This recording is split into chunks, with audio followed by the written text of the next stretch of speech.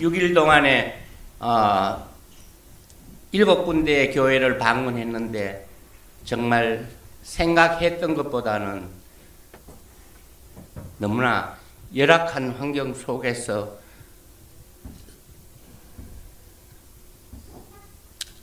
그 모든 사역을 담당하시는 많은 목회자님들과 또 사모님들을 봤을 때 정말 마음이 너무 아팠습니다. 또 그리고 가는 곳곳마다 김영주 선교사님이 같이 동행하여 주셔서 자세한 설명을 통하여 현지 사역자들이 열심히 헌신하며 선교하는 것을 봤을 때 너무나 큰 감동을 받았습니다.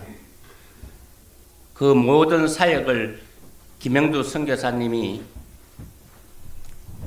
맡아서 교회를 짓고 또 현지 목회자들을 양육하며 주의 종들을 세워가는 사역을 직접 보고 특별히 선교사님과 사모님의 수고가 헌신의 그 열매로 맺어졌, 열, 어, 맺혀졌다고 봅니다. 심은 대로 거두는 하나님의 법칙이겠죠. 성교가 얼마나 소중한지 직접 보고 느꼈습니다. 정말 그 환경은 말할 수 없이 열악하지만 도움이 손길이 필요합니다. 아, 그곳에는 도시 외곽에는 어, 수도 시설이 있는데 우리가 생각하는 그런 시설이 아니고 큰 물탱크를 동네 주변에 세워가지고 시에서 큰 물탱크 자동차가 물을 채우면은 9시에서 11시 동안 물이 나오는데 그 동네 동네마다 집에 있는 그릇이라는 그릇은 다 이렇게 내갖고 물을 받아서 그것으로 사용하는 걸 봤을 때 정말 아야 너무 가슴이 아팠습니다.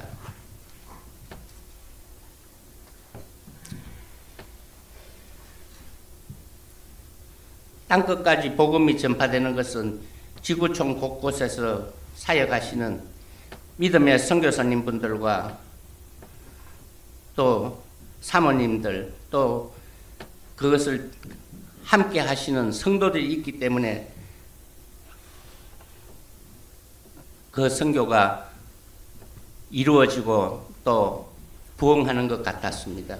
그런데 목사님이 언급했는 것과 같이 그 자기의 그 CPA에는 직업이 있지만은 하나님께서 불러셔서 그 모든 것을 다 버리고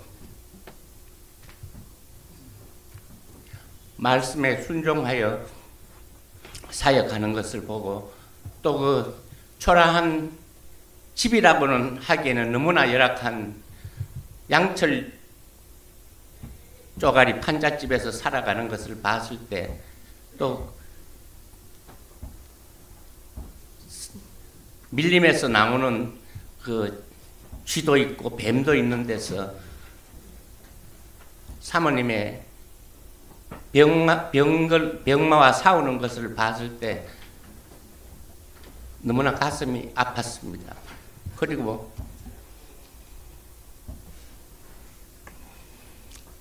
선교를 통해 기도하는 것도 매우 중요하지만 물질적 도움과 나눔이 더욱 필요하다는 것을 절실히 느꼈습니다. 각 교회에 직접 선교지를 방문하는 여러분들도 많았지만 그 중에서도 권사님과 장로님들이 계셨는데 헌신하기 위해서 현지 교회를 어, 자식들 이름으로 가족 이름으로 또 본인 이름으로 세운 것을 보고 저도 도전을 받았습니다.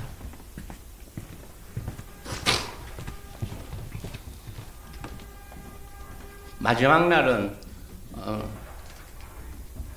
어느 교회에 헌당 예배에 참석했는데 뉴욕 근처 어느 작은 교회에서 가난하지만 온 교인들이 힘을 모아 교회를 건축했음을 목사님의 목매인 보고를 듣고 알았고 어느 한 권사님은 머릿돌을 붙잡고 우시는 것을 봤을 때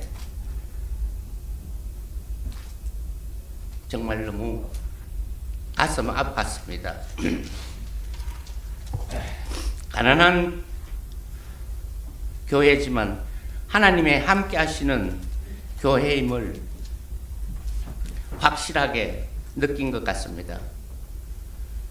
우리 평안교회도 성리하는 교회로 땅끝까지 복음을 전파하며 선교사를 세우는 하나님이 기뻐하시는 교회가 될 수 있기를 소망하면서 이만 마치겠습니다.